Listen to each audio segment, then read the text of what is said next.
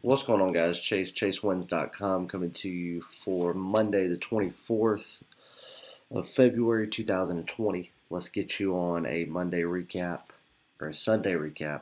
Tell you what we got going on for Monday. Monday, for the first time in almost a month, we do have a game of the week. I will not say what sport it's in or what time it starts. Obviously, the game is tonight. Uh, the play must be purchased by 6 p.m. Eastern Time because at 6 p.m. Um, when I leave my office tonight, I mean, it's early this morning.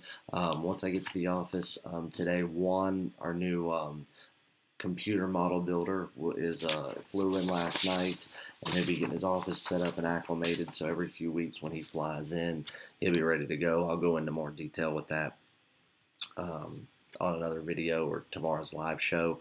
Um, but getting all that set up, going to the office for the entire afternoon, 6 p.m. when I leave. Uh, my daughter has practice tonight. Obviously, I'm the coach, so we have to be there at 7.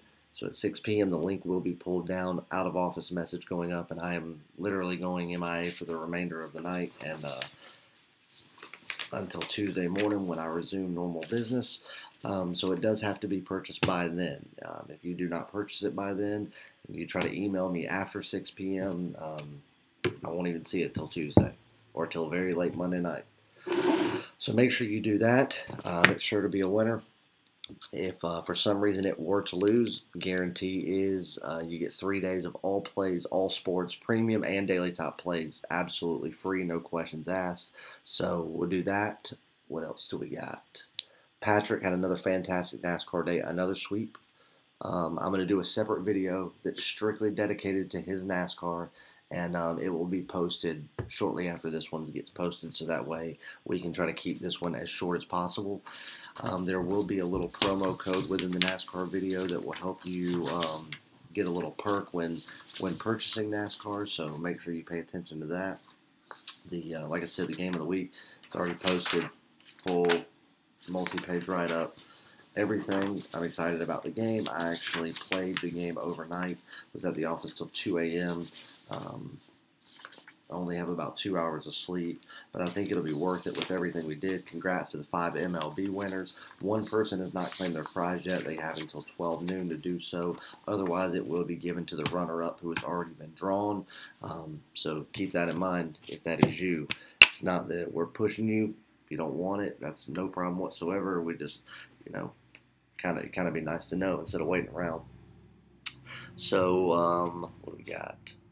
I think that's it. Normal packages, as always, 50 for three days, 99 for seven, 299 for 30. Um, but yeah, I think that's it. The game of the week. Make sure you go jump on that. Um, and then Patrick's NASCAR March Madness package is up. 199 for all of March Madness. That is every premium and daily top play that I have from the start of conference championships and conference tournaments all the way through all the March Madness tournaments until there is no more basketball to be played.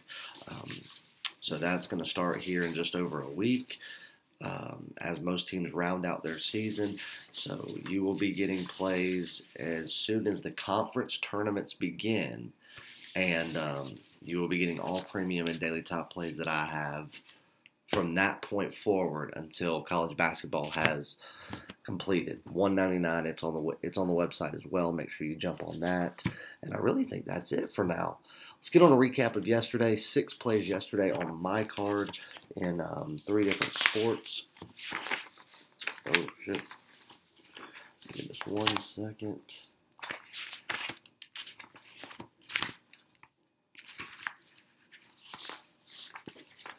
I want to make sure that I remove. Okay, there's that. Updated college basketball uh, rankings and stats have been entered being that most of the night will do for you. Uh, the new updated top 25 will be going over on tomorrow's live show, as it always is on Tuesdays. So make sure you tune into that 11 a.m. Eastern Time. Yesterday, NBA one play Chicago Bulls plus two and a half. Easy outright winner from start to finish. Coby White, fellow Tar Heel. Congrats, brother. Another 30 point plus game off the bench. Hopefully, uh, you'll be a full blown normal starter here soon, and all the people that doubted you are learning that uh, You don't doubt that. So 1 0 in the NBA. NCAA basketball, three plays Northern Iowa minus 10, Colgate minus 17, and Ohio State minus 2.5 over Maryland. All easy start to finish winners. Colgate was a blowout. So a 3 0 day at NCAA basketball. And then in NHL, two plays, one premium, one top play. Premium was Edmonton on the money line, minus 130, easy winner.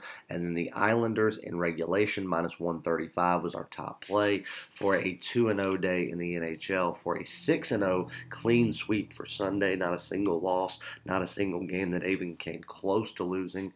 Um, and so if you rate it by unit, the way our system works, one unit per premium, three units per top play, you would have picked up eight units yesterday. And then if you were an all access client or you purchased the NASCAR card as well, Patrick swept the board again. So you would have picked up an insane amount of profit yesterday. But again, I'll save the full breakdown for the NASCAR video. We're going to address some pretty serious stuff in that. So make sure you tune in to that but another fantastic day. Congratulations. After, you know, somewhat of a rough Saturday, I told everyone we'll finish out the week strong like we always do, and we did so. Excuse me. All right, let's get on a free play. Besides the game of the week, this is the only other game that I've added to the card already and already wagered on. The rest will come this afternoon, but it is an NBA play that I love. Um, Houston Rockets, New York Knicks, 8 o'clock tonight. Eastern Time, Rockets laying 14 with a total of 229.5. Caesars has 230, but I'm seeing 229.5 pretty much everywhere else, William Hill included. And that's what I played. So um, I'm going with the under 229.5 here. Um, typically, games involving the Rockets, 230 is about a normal line to come out. And being able to breach 240, 250 it isn't you know something that's uncommon for them. Um, nobody that plays them is allowed to play defense per the James Harden rule. I don't know if anybody's aware of the NBA's regulations on that, that you're not even allowed to sneeze in the same room as him or you will be called for a technical. So make sure you do that. You don't want to um, get anywhere near and try to defend the most overrated offensive player, if not the most overrated athlete in the NBA and maybe NBA history. It's ridiculous. He's such a chump.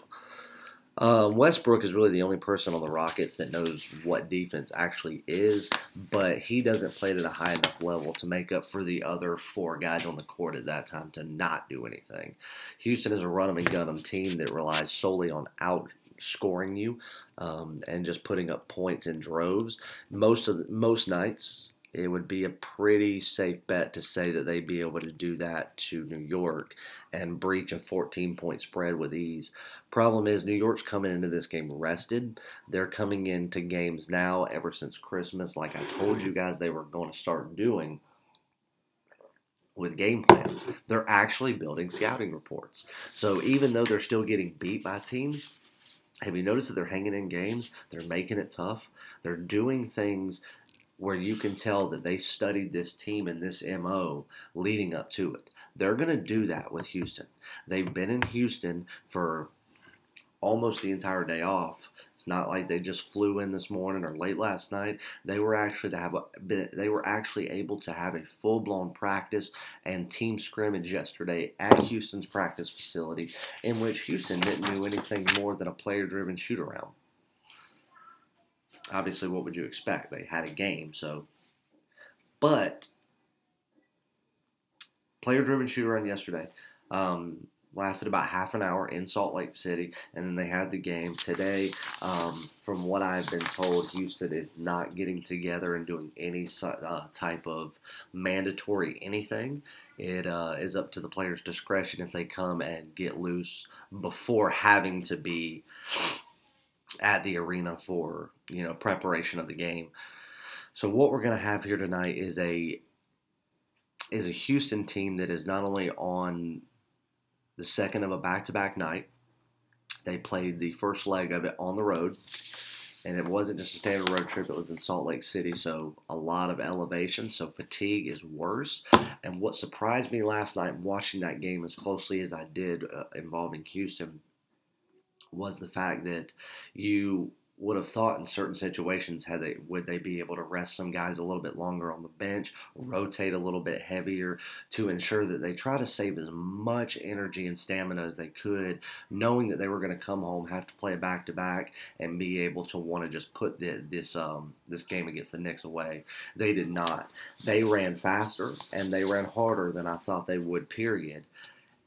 And I really think that you're going to see the effects of that tonight as the beginning of the fourth quarter last night, their production as far as overall speed and pace of play went down almost 35%, just like that. What do you think is going to happen after traveling back from Salt Lake City, not getting a good night's sleep, having to get up today, know that they've got the Knicks on deck, think that it's already over, come in, and you know that Houston's only MO to win games is run fast. By the second half, you're going to see at least a 25% drop in production. By the fourth quarter, I think you see pace of play drop 50% from what Houston's normal is.